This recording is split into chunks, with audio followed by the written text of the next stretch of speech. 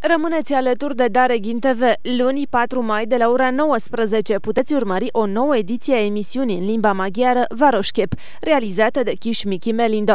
De la ora 21, Ghiță Zileriu vă așteaptă la ora campionilor, alături de președintele Federației de Culturism și Fitness, Gabriel Toncean, și sportivul Horațiu Forgaci. Aflați detalii despre rezultatele campionatului balcanic.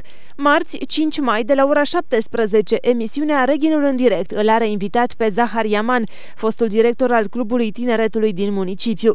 De la ora 21, Simina Cota vă așteaptă la emisiunea Instituția. Invitat este Ioan Marcu, directorul Liceului Tehnologic Vasile Netea din Deda.